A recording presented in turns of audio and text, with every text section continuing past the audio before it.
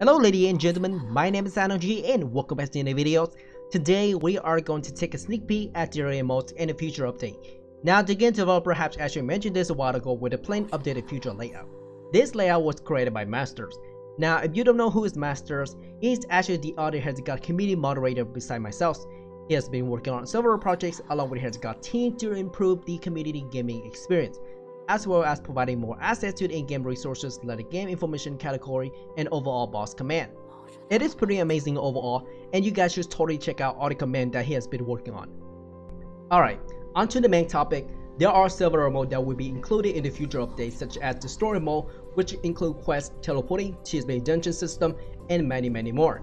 Arcade mode which is the current mode that we are playing right now along with Hadrian's Secret Dungeon.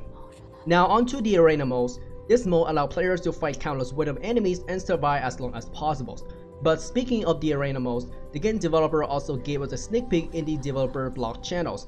Now if you noticed, he actually gave us the first prototype structure of the arena modes a few weeks ago, which come along with more detailed stuff that are being rendered and composed for better quality. In addition, I can already imagine how amazing this is going to be based on all the challenges that the arena modes had to offer. Hopefully there may be a leaderboard system available in the future updates which shows how far other players have survived in the arena modes. Now, Dig Deeper modes. I'm not entirely sure how Dig Deeper mode works to be exactly, but based on the descriptions, I do assume it works exactly like the arena modes, but more like a dungeons explosions type of stuff.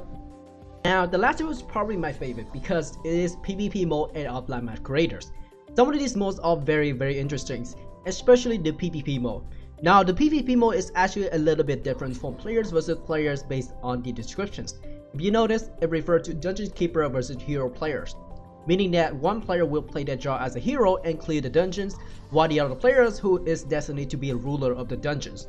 In addition, this mode is actually supported by the offline map creator modes, which allow players to create a custom dungeons that is fully customized to their own desires and upload them online for other players to download. In my opinion, it feels almost exactly like Super Mario Makers with all the level of designing and customizations. I'm not entirely sure how the PvP is going to work out since I don't have much information at the moment, but potentially I would say that it is very quite neat since there may be one player who is extremely skillful in designing the dungeons while the other player who is extremely good at controlling his characters, so we may have a mixture between the both in the gaming community. But then again, these are the things that we should be looking for for the future update. Now before I end the video for today, I actually turn on the community translations which allow you to contribute and translate the captioning language from English to another language. This way, not only you're helping out the people who does not speak English from the community, but also helping me translating different languages while I'm making videos. Anyway, that is all for this video. Thank you very much for watching. This is Shanochi once again, and I will see you all next time. Laters!